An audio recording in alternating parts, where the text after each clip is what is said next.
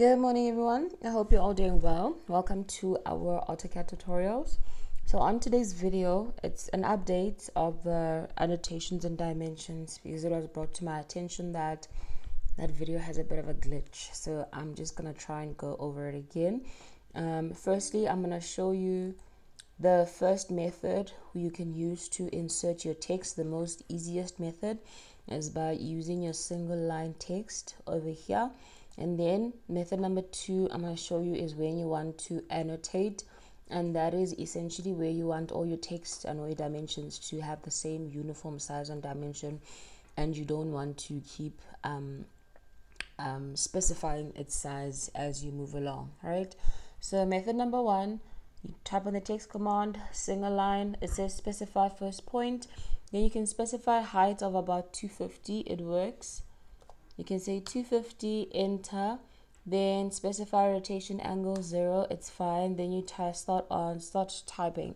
So we can say engineering drawing 2 enter enter then our command is done. That that is the text we essentially just worked with okay? That is the text we just worked with. So you notice that uh, relative to the house or the floor plan that we just drew, the text actually works.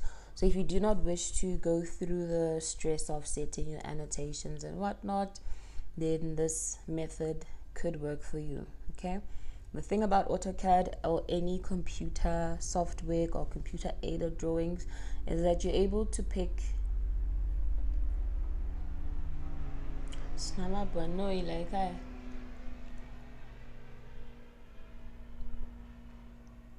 Alright, sorry about that. So the thing about your computer aided um, software or drawing programs is that you're able to pick a method that works for you. There are like a million ways to kill a cat.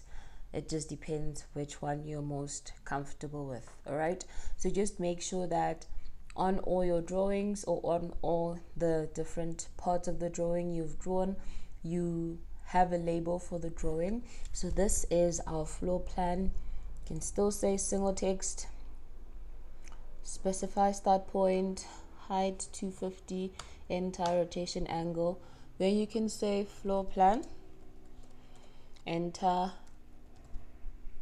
Scale 1 is 250 then enter twice. All right and just make sure that on your drawing or on your paper somewhere there has to be your name or your student number or I won't know whose work I'm marking. Okay, so once you've inserted the text once, then you don't necessarily have to um, try and select your single line text again. You can simply copy, you can rotate it if you want to move it around, it's completely up to you. All right. So I just want to show you how this looks on the layout. So remember on here we had already set our scale in the previous video. Then we can just move it around to try and locate our drawing. The reason I'm not trying to zoom in and out is because we've already specified our scale. But since you know how to carry out the scale, even if you zoom it in or out, you wouldn't really you wouldn't really be lost. You know how to get it back. All right then that is method number one. And i'm just trying to show you on here that it appears as well. You just need to oops i didn't double click. You just need to obviously make sure that you maneuver it the right way okay? If it doesn't fit on the screen then it just says you need to move them slightly closer to the drawing so that they are visible. And if you come to the layout it's all visible on here. Okay that's method number one.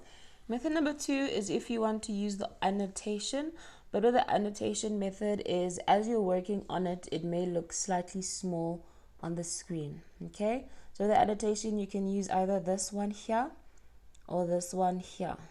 Annotate. So you can say annotate. The first one is for text the second one is for dimensions.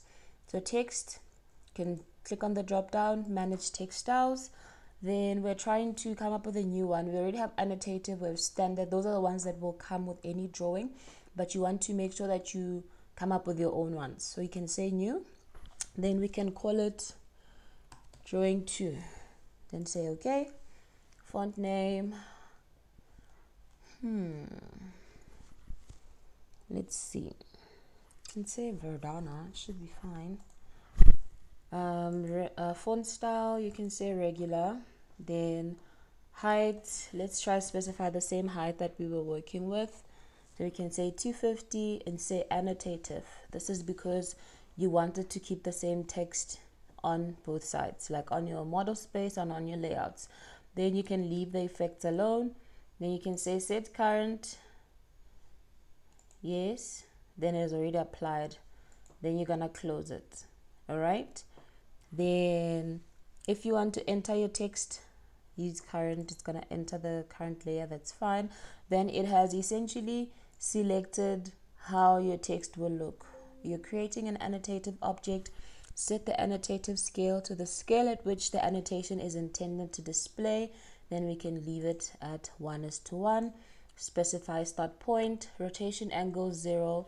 And then we can type here again, engineering drawing 2. Enter.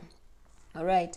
So what the annotation does for you, it essentially removes that one step where you specify the height because for some people that step might be, you know, a bit too long when you don't really have time. So you'll notice the only difference here between this text and that text is that this one is annotative, that one is not. But once you go to your layout, you just want us to pan and find our text. Let's give it a chance. Our text is gone. Our text is gone. Hey, Rena, come out. My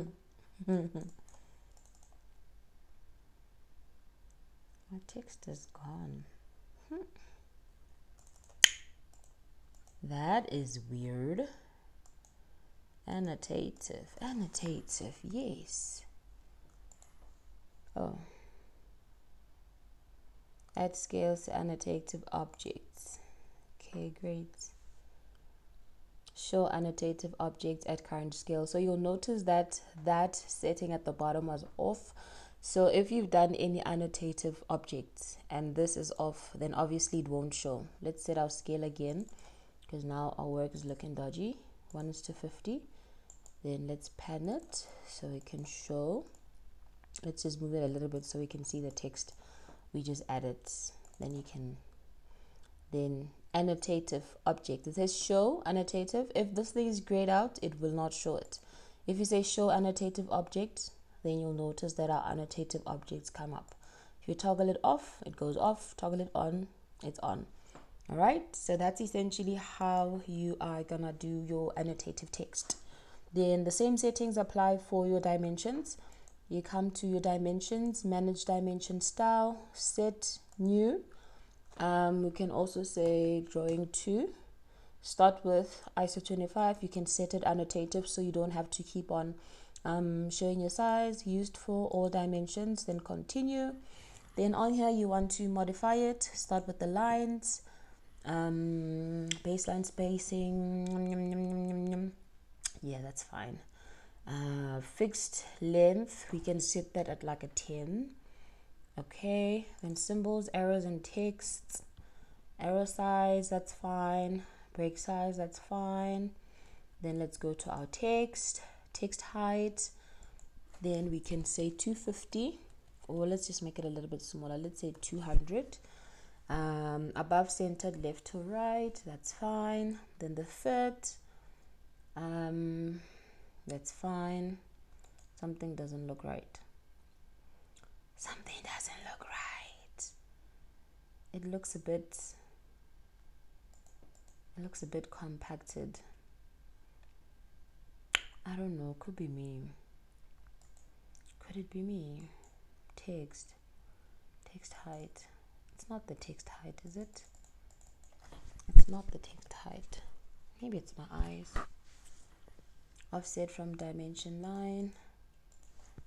Um, you can set this offset at 5 does it change much? Nope. Wait we're still modifying you Wena. don't go away.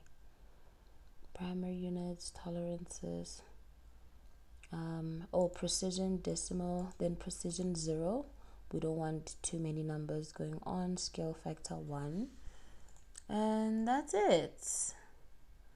That's essentially it with your annotative um, dimensions. Then you can set it current and close then when you do want to dimension dimension you can choose whether you dimensioning from the corners or what. Just make sure that you extend it up. Dimension the window. Oops that is an angle. Just hover it there. It's a thousand five hundred. Place it and from here again to the next window. A thousand seven hundred. From there to that window it's 750 from there to the next window. Hey it did not start my dimension. It says 2003 I don't know how accurate that is yeah that's not accurate. It didn't start it right at the beginning. At the beginning okay so if you make a mistake you can just stretch it to the correct one. Then it will correct your dimension. Um, let's just continue with this line. To this one should be 750 750 and it's not straight my work is dodgy. Please don't make your work dodgy. My work is the dodgiest. I don't know what setting i toggled off but my lines are just not straight. And it's not looking cute. But anyway that is essentially how you insert your dimensions okay? So we can just move that or delete it. We don't need it. We don't need you. Go. Shop and that's essentially how you go along with it.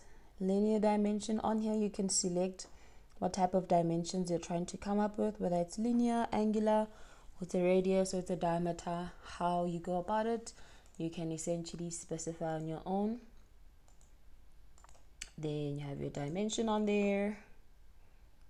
And another dimension on there so just make sure that you have a, like you can never have too many dimensions. It's better to be over dimensioned than under dimensioned okay and that's essentially how you go about inserting your text and your dimensions and whether you want to use annotative or not. Just remember if you're using the annotative scale then once you get to your layout that must be on so that it shows your work if it's off you'll notice that it takes all my dimensions and my text away if it's on everything comes back so it just depends on how you want to do your work and how much how much you're willing to remember because it's very easy to forget anything at all if you have any questions, you know what to do. Adios.